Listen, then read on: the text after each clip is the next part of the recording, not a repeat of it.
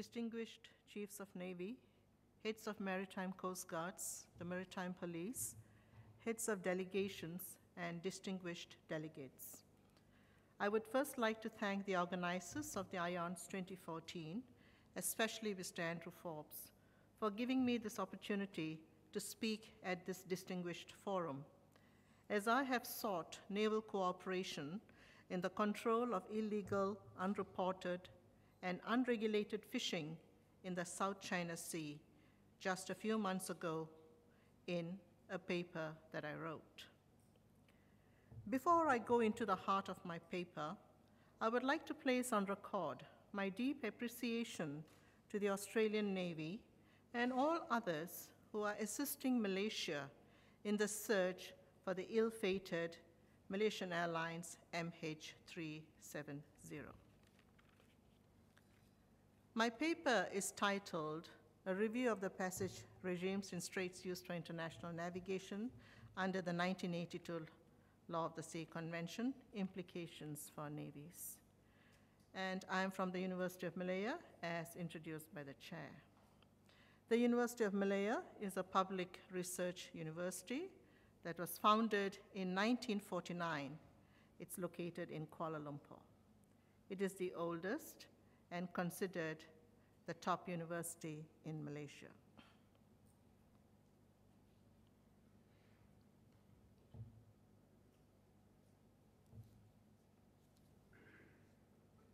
I'm looking for the, which one is it?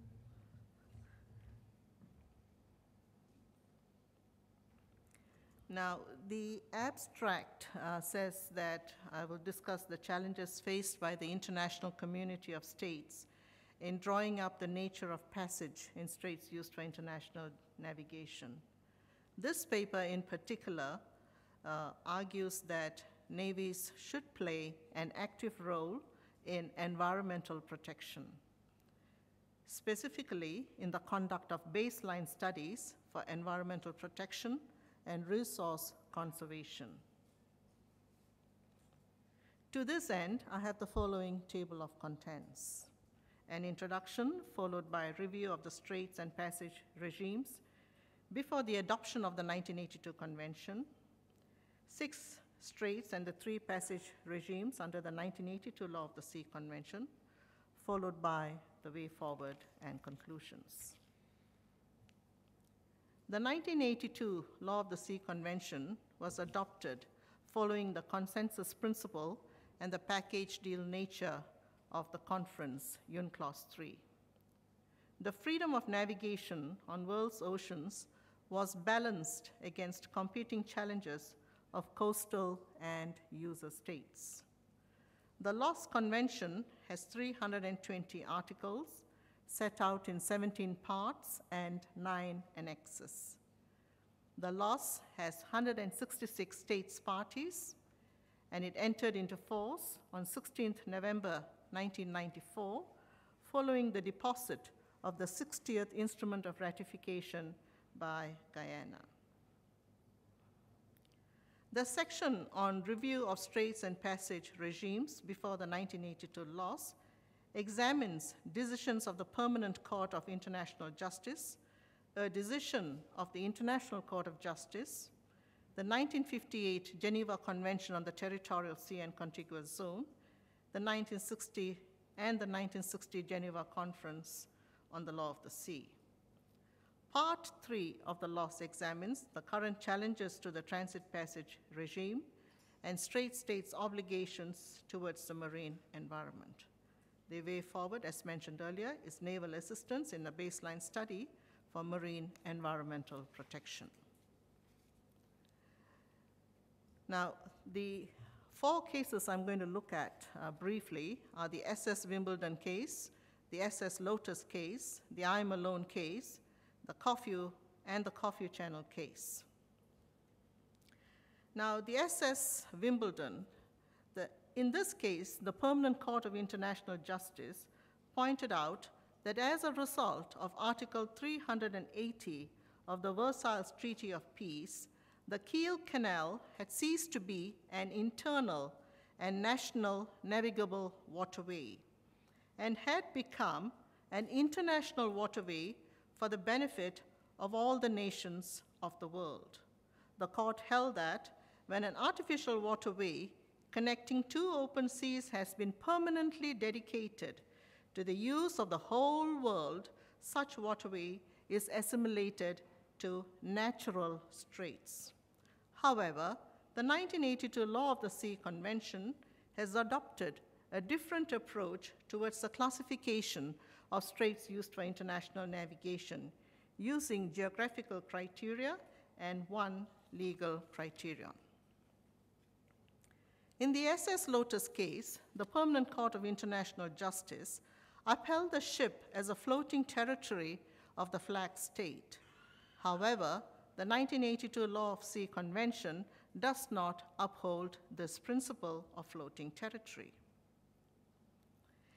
In the I am alone case, the question was the exercise of the right of hot pursuit by two US Coast Guard ships, and where one of them deliberately sank the pursuit vessel engaged in illicit smuggling of liquor under the 1929 Liquor Convention. The commissioners held that the use of force for the purposes of the convention was acceptable and included an accidental sinking of the vessel. But the deliberate sinking was neither justified by the convention nor any principle of international law. In the Corfu Channel case, the International Court of Justice held that the Corfu Channel constituted an international strait, as the decisive criteria was its geographical position, connecting two parts of the high seas, and its function of being used for international navigation. The 1982 Law of the Sea Convention builds on this case. At the United Nations Conference on the Law of the Sea 1 and 2, both these conferences failed to agree on the breadth of the territorial sea. UNCLOS 1 agreed to the concept of the territorial sea and a 12 mile contiguous zone, which eventually was adopted in the 1958 Geneva Convention on the Territorial Sea and Contiguous Zone as reflected in Article 16.4. The contiguous zone was recognized in Article 24, paragraph 2 of the same convention. Now, Part 3, 1982 of the Law of the Sea Convention deals with straits used for international navigation. There are six straits and three passage regimes. Now, on the categories of straits, the Part 3 of the LOS Convention used a combination of geographical criteria such as high seas, the exclusive economic zones, territorial seas, islands, and legal criteria such as the use of the straight baseline method, and came up with six types of straits. These six categories are as follows. One, straits where a high seas or EEZ corridor runs through the middle. Second, straits formed by high seas or exclusive economic zones. Third, straits situated between a part of the high seas and EEZ and the territorial sea of a foreign state. Fourth, the strait formed by, by island of Strait State and its mainland. Five, or fifth, straits governed by long-standing conventions. And, and the sixth category is where straits which were previously territorial seas but now are considered internal waters by the use of straight baselines. Three passage regimes are the transit passage, the non-suspendable innocent passage, and innocent passage. These diagrams that are now shown on the screen are taken from S. N. Nandan and D. H. Anderson, Straits Used for International Navigation, a commentary on Part 3 of the United Nations Convention on the Law of the Sea 1982. Citation 1989, 60, Year, British Yearbook of International Law at pages 159 and 199 to 204. Now, the first category Uh, the diagrams are small. I do apologize for that. But the first category is where straits have a high seas or EEZ corridor running through the middle. This is a reflection of Article 36, and the authors point out, but because the uh, high seas are wide and navigable, the regime of passage available in the straits is innocent passage. The next uh, diagram is also a reflection on Article 36, but here the only difference is the high seas corridor is narrow and non-navigable. Hence, the authors point out that transit passage is now available in such straits. The second category focuses on straits formed by high seas or EEZ. This is, article, this is a reference to Article 37 straits, where the, uh, well, traditionally the regime of transit passage would prevail. But here the authors point out that a vessel from one port decides to cross over to a vessel across the strait to another port. Therefore, the authors find out that in such cross traffic, innocent passage should prevail across the straits. The third category the authors use is the strait situated between a part of the high seas and EEZ and the territorial sea of a foreign state. This is a reference to Article 45, and the authors point out that the regime of non-suspendable innocent passage prevails in such straits. The fourth category the uh, authors have highlighted refer to a strait formed by an island of a strait state and its mainland. This is a reference to Article 38, paragraph 1 of the 1982 Law of the Sea Convention. And it says, it points out that the regime of non-suspendable innocent passage prevails in these straits. The last diagram is a reference to Article 38, paragraph 2, and it refers to transit passage in straits. There is a vessel uh, in the high seas wishing to proceed across the strait used for international navigation to the other part of the high seas. As the strait is connected, uh, strait connects two parts of the high seas, the authors point out that transit passage prevails in such straits. Now, the challenges in transit passage is as follows. There is the rights and duties of user states versus the rights, duties, jurisdiction, and discretion of strait states. On the rights and duties of user states, the transit passage regime, as pointed out by the chair earlier, is a stronger regime than the innocent passage for the territorial seas in Part 2, as the coastal state cannot stop, hinder, impair, or obstruct transit passage.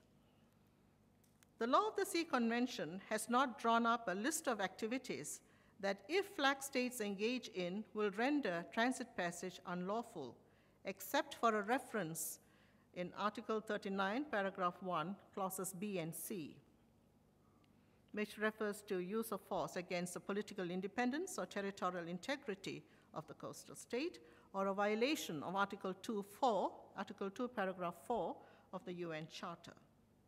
Transit passage also has implications for the exercise of contiguous zone jurisdiction of strait states.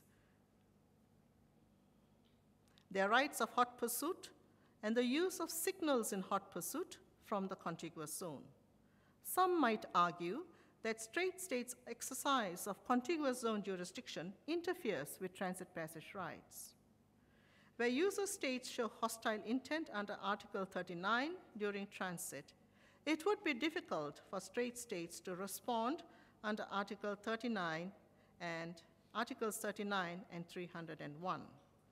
Article 301 provides that states are to refrain from any threat or use of force inconsistent with the UN Charter. Article 39 does not impose any duty on ships and aircraft exercising their right of transit passage to obey the national laws of strait states. They are to proceed without delay, refrain from any threat or use of force against strait states, or act in any manner in violation of the UN Charter. They are to refrain from any activity outside their mode of transit unless rendered necessary for force majeure, by force majeure or distress. This again was alluded to by the chair. And to comply with other relevant provisions of Part 3 of the 1982 LOS. The 1982 LOS neither explains what these incidental activities could be, nor does it list down the activities that ships and aircraft are to, are to refrain from when exercising their normal modes of continuous and expeditious transit. Now, coming to another uh, uh, book, the San Remo Manual, this manual states that countries in conflict are encouraged to keep clear of rare or fragile ecosystems and habitats of depleted, threatened, or endangered species or other forms of marine life, which is similar to Article 194, paragraph 5 of the LOS Convention. The due regard standard used throughout the LOS Convention is also used in this manual. But when the manual is read with Article 39, paragraph 1c, there is an inconsistency. The main thrust of the manual is that states engaged in armed conflict must conserve the marine environment. In situations of distress or force majeure, Article 39.1c of LOS does not seem to provide for the conservation of the marine environment. To this extent, perhaps, Article 39.1 needs to be reworded for the effective regulation of the marine environment. On the use of force, the case of MV Saiga number two is relevant. This case, though, deals with the use of force in the EEZ for exercise of contiguous zone jurisdiction rights. In the MV Saiga number two case, the majority judgment of the International Tribunal on the Law of the Sea held that Guinea had used excess force on the Saiga. As the MV Saiga uh, case number two was between St. Vincent and the, Grenadine, and the Grenadines and Guinea, St. Vincent and the Grenadines claimed that Guinea's arrest of their ship, the Saiga, was accompanied by excessive un and unreasonable show of force, as Guinean authorities had fired at the ship. Guinea counter-argued, saying that the gunfire was the last resort, as the Saiga refused to stop after repeated radio messages and visual and auditory signals from Guinea's patrol boat. The International Tribunal examined the rules of international law and concluded that though the LOS did not contain express provisions on the use of force in the arrest of ships, international law, which was applicable by, by virtue of Article 293 of the Convention, required that the use of force must be avoided as far as possible. And where force was unavoidable, it must not go beyond what was reasonable and necessary in the circumstances. Considerations of humanity must apply in the law of the sea, as they have done in other areas of international law. Likewise, the issue of signals to, to stop a ship during hot pursuit, a right related to contiguous zone jurisdiction, is unclear in its application to straits used for international navigation. For hot pursuit in the EEZ in the Saiga number two case, it was recognized that first an auditory or visual signal to stop must be given, and radio signals were excluded.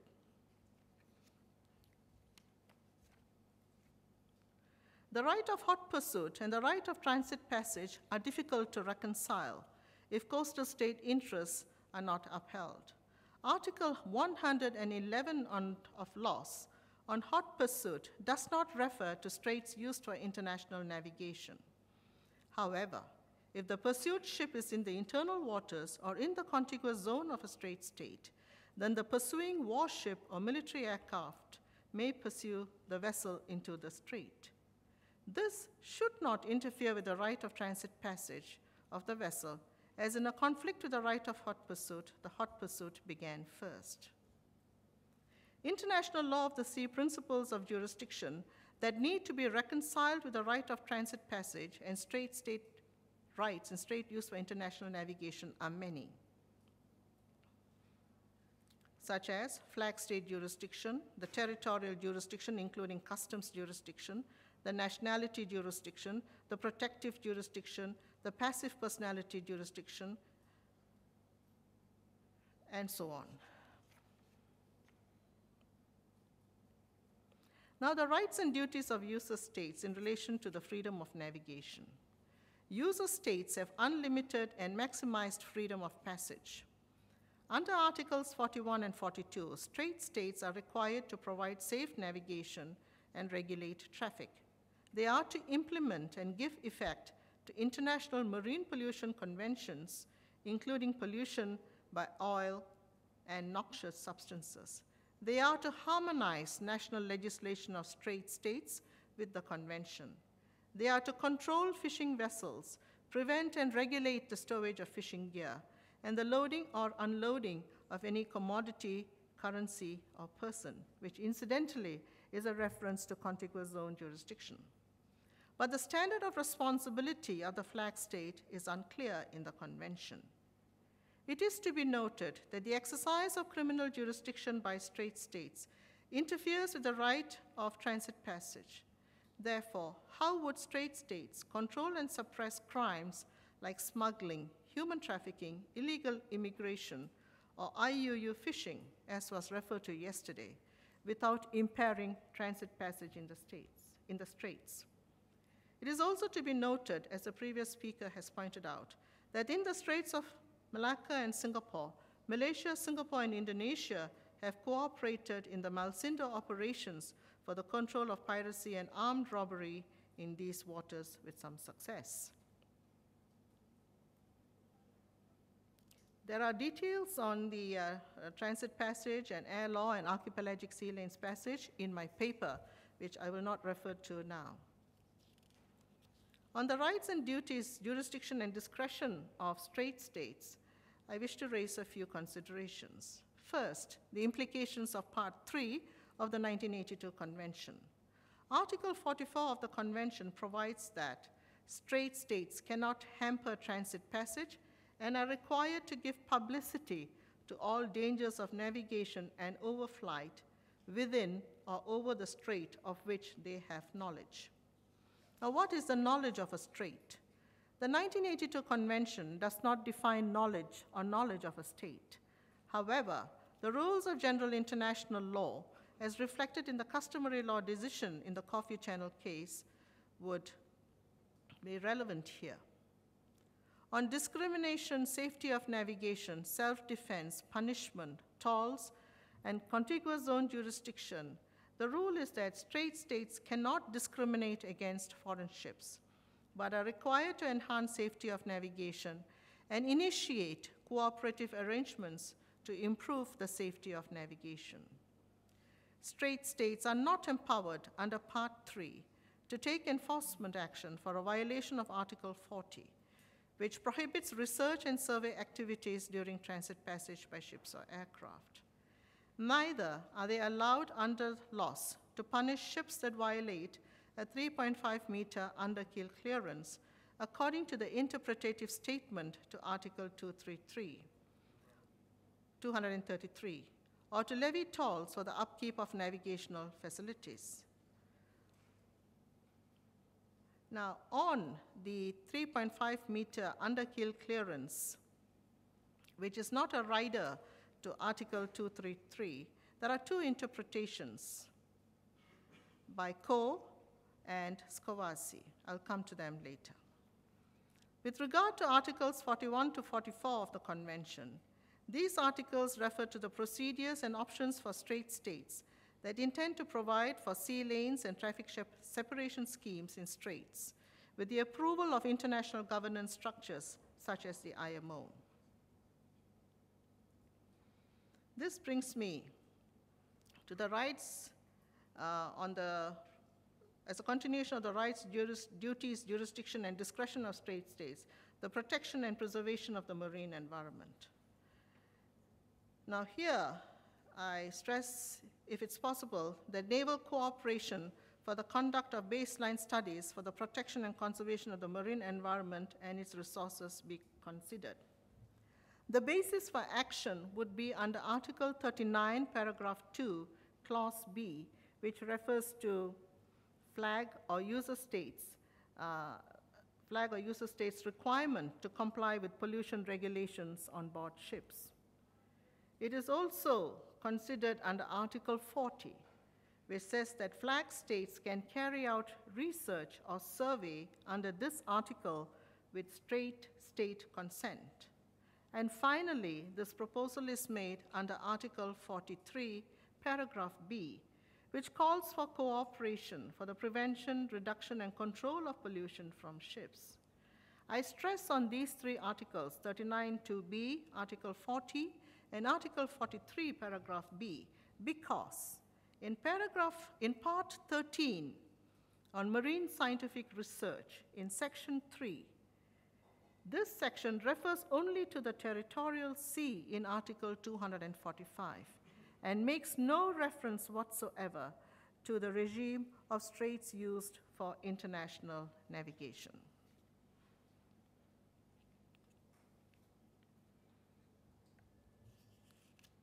Now, straits, uh, strait states desiring to prevent marine pollution are generally directed to Part 12 and Article 233, entitled Safeguards with Respect to Straits Used for International Navigation.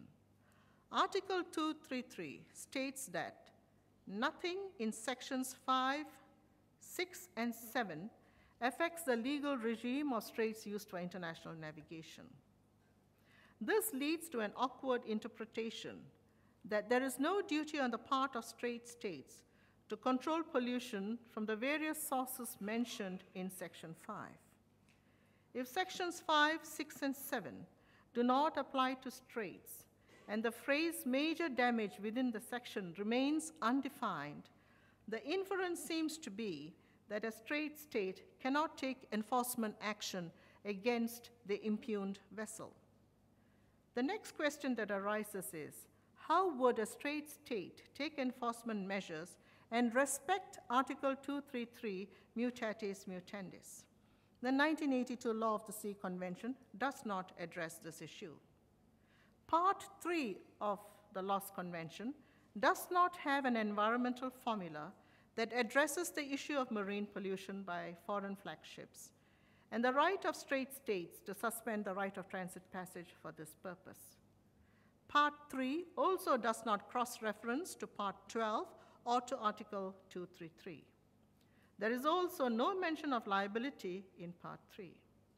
Article 233 and reworded and Part 3 should complement each other.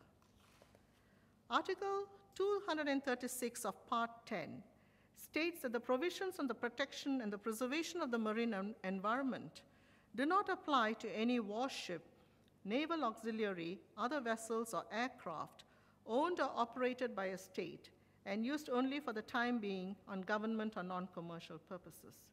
These ships are totally immune from the jurisdiction of strait states and from Article 333. They are only subject to flag state jurisdiction.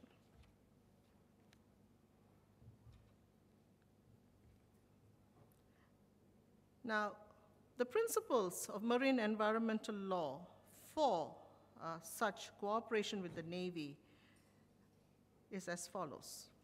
The principles of conservation of the living resources of the sea are well encapsulated at international law in cases such as the San Juan River case, 1888, the Bering Sea fur seals case of 1893, the North Atlantic Coast Fisheries case, 1910, the Trail Smelter Arbitration Case, 1938 to 41, the Corfu Channel Case of 49, the Gabčíkovo Nagymaros Case, 1997, and most recently, the pulp mills on the River Uruguay Decision 2010 of the ICJ. Of fairly recent origin, the concept of sustainable development evolved from the UN Conference on the Human Environment or the Stockholm Declaration 1972 the Rio Conference and Rio Declaration 1992, endorsed by 194 states. Agenda 21, Chapter 17, endorsed by 178 states.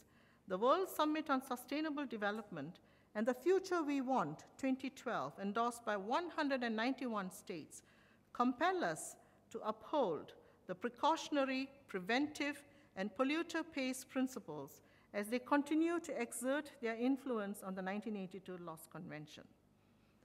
The 1982 LOS does not contain provisions in Part 3 that uphold the marine environmental law on behalf of the Strait States. It may be worthwhile considering whether there should be recommendations to amend the laws to reflect these marine environmental law principles.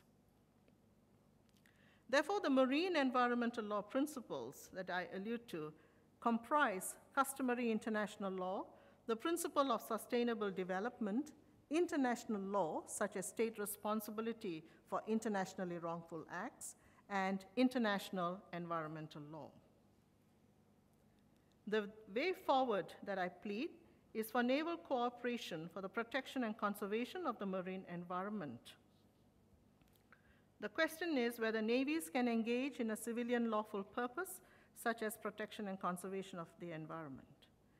In this way forward, there is a need to determine the geographical, personal, material, temporal, and personal scope of each action and the realpolitik of a given region.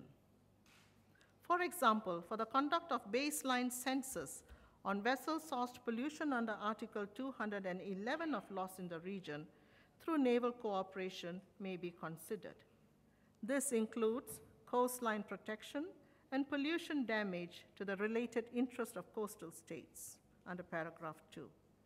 It would require knowledge of the history and the background of ships and the capacity of each to handle pollution under MARPOL.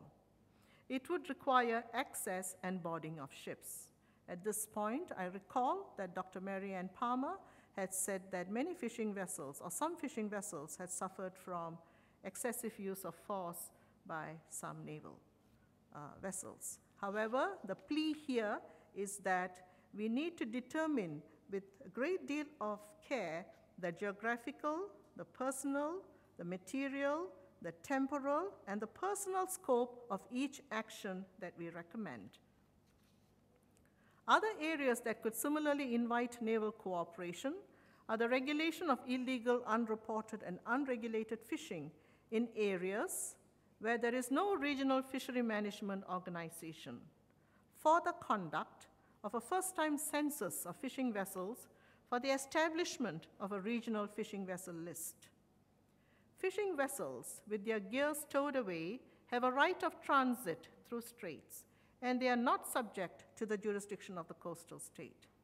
However, the coastal state may, through naval assistance, be entitled to check by, by visual inspection that the vessel is not engaged in any fishing activity so as to assure the integrity of the sovereign rights of the coastal state concerning fishing.